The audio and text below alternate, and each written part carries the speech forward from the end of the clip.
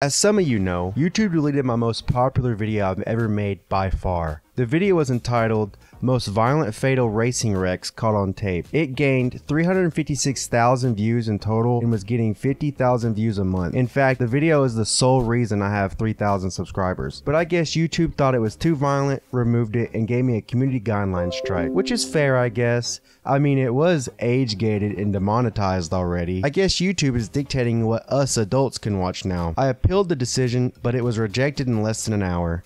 I tweeted at YouTube thinking maybe I could get some help there. Nope, rejected again. Here's where YouTube's hypocrisy comes in.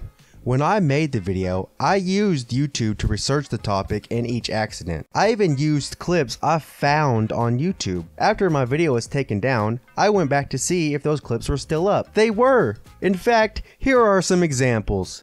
Why was my channel targeted? The craziest part was the image I used that got my video taken down is the thumbnail for another video, which obviously I can't show.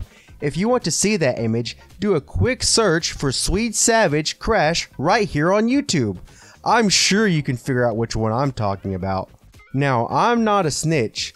When I brought this up to YouTube, they told me to report those YouTube videos. I won't. That's why I'm censoring the channel names and titles of the videos I'm showing. YouTube has made it very clear I cannot continue with the same content I used to. So I'll be putting up all the old Top Rotten videos, including the one that got removed, up to watch on both Internet Archive for free and on my Patreon for a dollar a month for those who want to support me. I'll also be finishing and posting the part 2 of the Racing Wrecks video on Patreon once we get a couple supporters. I was actually working on that video when this whole situation started. As far as this channel, you can like and subscribe. I'm kidding. I have a rebrand and a slight pivot in content coming very soon, since I'm grounded from making the videos I would normally make, so stick around.